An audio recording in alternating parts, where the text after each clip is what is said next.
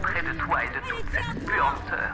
Pourquoi les petites sœurs sont-elles attirées par l'odeur de ces phéromones Voilà qui échappe totalement à ma compréhension.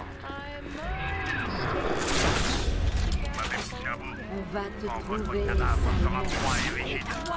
Je vais